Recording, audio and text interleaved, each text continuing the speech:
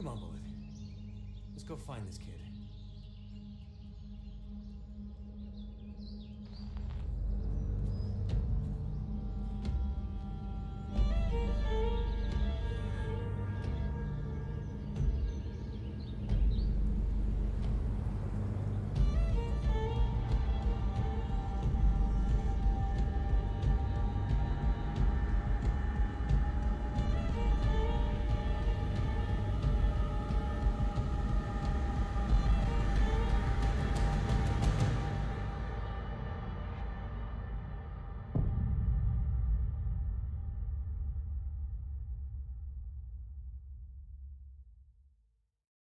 It's difficult to put into words the drawing power of Blair Witch. Something as familiar as the trails in the forest being twisted into unrecognizable shapes. Something backwoods and festering in these quiet northeastern towns. Some secrets better left forgotten. Over 20 years later, we still look at the Blair Witch Project as a landmark in film, but now we have a chance to be a part of it with this game. I've never been the most active person, but I've always loved the deep woods in the Northeast. West Virginia to Maryland, Blue Mountains to Bluegrass, the calming reassurance of a deep seated life. Blair Witch does an incredible job at recreating this encompassing environment. I like that the game opens with a few warnings. This game features scenes of combat violence and PTSD, gives away the protagonist's past quickly, but hey, I totally get being upfront with that area of awfulness. This game uses binaural sound, so headphones are recommended, is another good one. You really want to get those headphones on to experience the full headache. By the way, this video is going to be a full overview of the story, so if you're planning on playing it, I would suggest doing so before watching. This game is on Xbox Game Pass, which starts at a dollar for a month, so there's no reason to wait. With that being said, let's get to the story. The opening takes you through back roads you would see on the way to a hike and pulls into a search party that's left without you. From here, you are taken into the mouth of the woods. One of the first things you do in this game is customize Bullet, your therapy dog. My immediate thought was, oh man, they are totally going to kill this dog. You also receive a phone call on your way to the search party. Without directly saying it, you can tell the woman on the phone and our protagonists are going through some serious trouble. This offhanded introduction to the story is a nice touch. It allows the game to fully develop a personality and backstory for the main character, while not creating dissonance for the player controlling them. This background develops once you find the camcorder, beginning a flashback that shows the main character is a veteran and is haunted by PTSD, to the point that it has ruined his relationship and cost him his job as a police officer. The nice fluid storytelling from the beginning loses all of its subtlety in this moment, just dumping the story on the player's head. I especially don't like these flashbacks as they are in direct conflict with the original Blair Witch movie, which uses guerrilla style narrative to only show what is captured on film in the present moment. On the other hand, I think this blackout session is a good example of the protagonist being an unreliable narrator that is genuinely trying to get better. Even if they aren't the most likable person, you can sympathize with their struggle.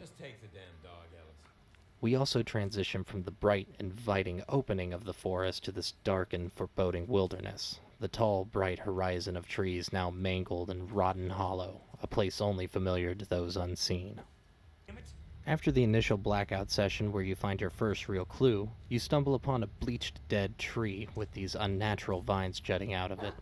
When your cop friend Emmett says that they see the tree you mentioned before, there's a sigh of relief in the idea that you'll finally be able to make some human contact.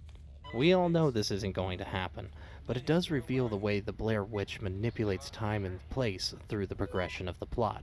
So am I. The video camera is a totem of this time manipulation.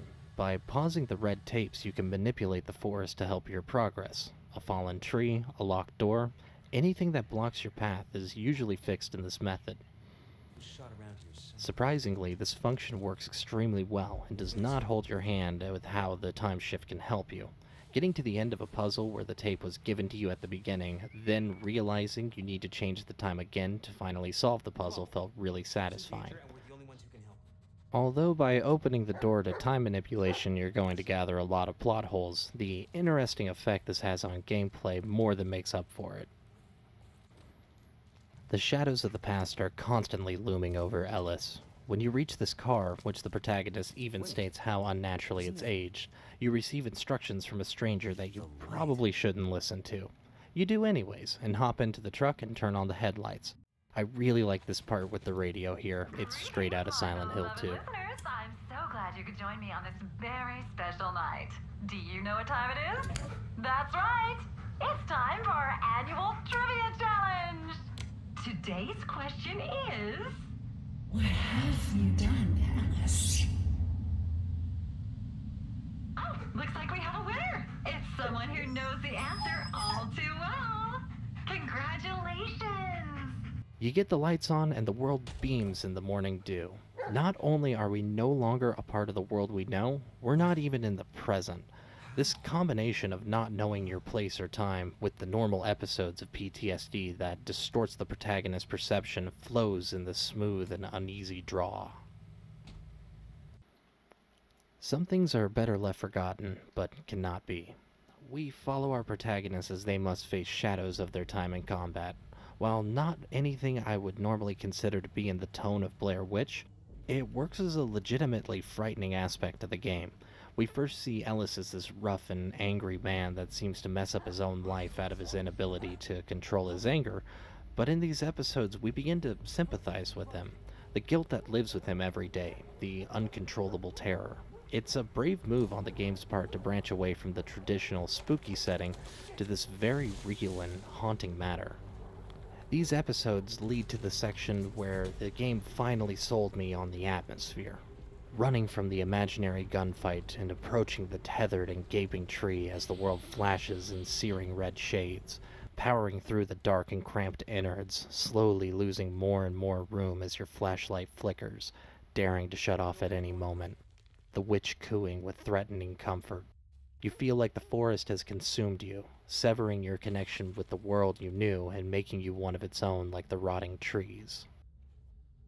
The life you once knew was harsh. Horrible memories of shattered relationships are left as you bind your flesh to moss and soil. This is what you deserve. This notion is yanked from us with the aid of Bullet, calming and returning us to reality, at least as real as it can possibly be. How did we end up back here? Unfortunately, this spectacular moment is cut short as we reach the midway point. At the halfway point, we reach a section that's directly taken from Half Life. We see a valley filled with the deadly leaf balls of doom and realize we need to find a safe passage through it. After finding a minecart, we move to a station where the path is blocked, and now need to find a way to repair the engine, as to remove the obstacle and push the cart forward through the deadly valley. It was a strange feeling of dread, not only because you know you're going to need to solve this multi-part puzzle using the clunky minecart controls, but you will also have to do it in complete darkness. I do like that the game leaves it up to you to study the map and get the parts you need by following the notes that reveal where they've been taken to, but it does bring a few breaks in the ideology. Why doesn't Ellis just take the map with them? Why didn't he take a map in the first place? Why do I need to rewind the tape to reignite the steam donkey, but still have to find the missing parts? Shouldn't those also return once the video pauses with them clearly on the machine? I know once you open the time floodgates you'll be swimming in questions like this, but the whole part jumps from scary to tedious. Luckily, the story and tone pick up from this point into its screeching crescendo. You finally find the man from the first recordings named Carver and see that he is friendly with Bullet, playing out like a dark reflection of yourself. He takes you to this foggy section that nails the atmosphere. This area is one of the highlights of the game. The environment perfectly melts into this foreign valley with these awful red silhouettes in your camera view.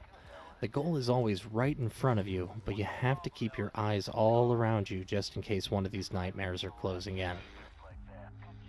Carver begins his constant beratement filled instructions, and you start to get the idea that you truly have no control over the situation, held down and forced into your own decay with little resistance.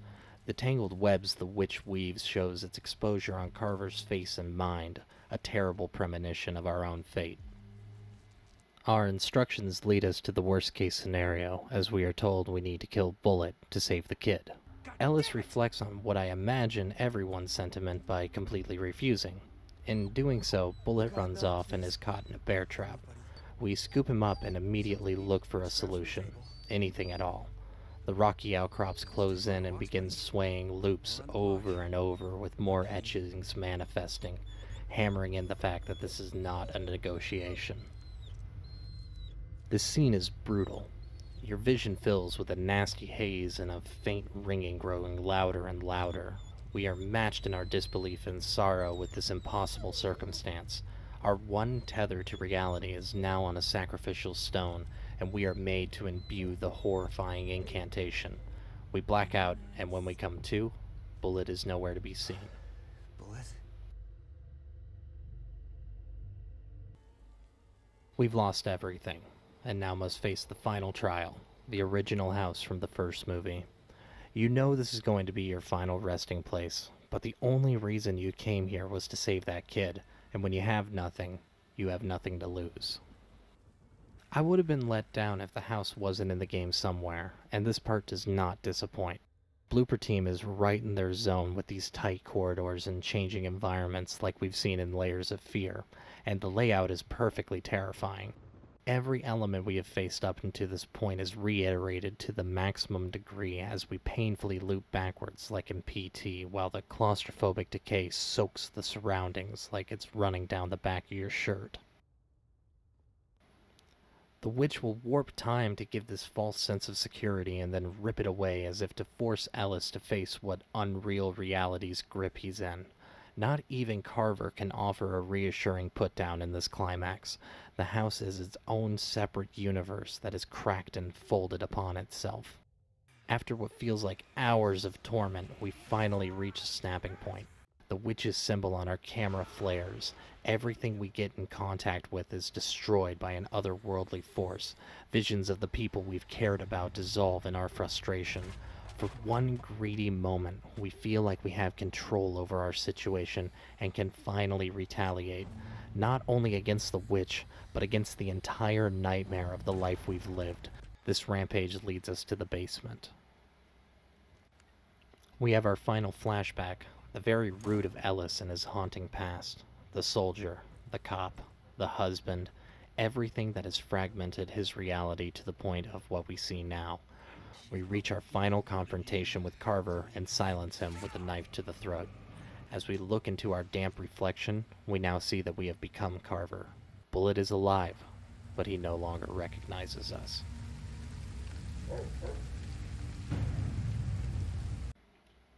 We then see a white on black text conclusion that basically says we failed at everything. Great.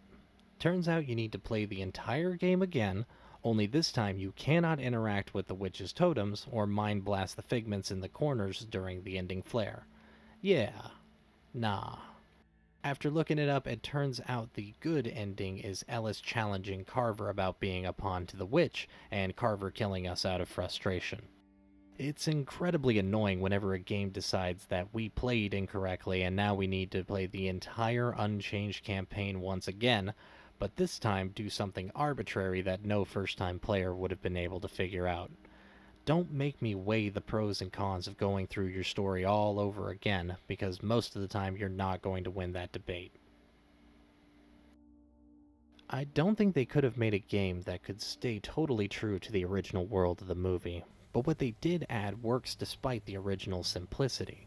We learn to understand Ellis and his downfall. The PTSD is a strong motivator in the shock and horror that Ellis brought with them to the forest and plays wonderfully with the creepy atmosphere.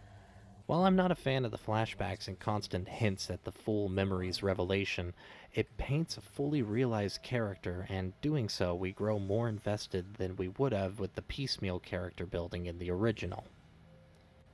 The main issue with the story is in its pacing.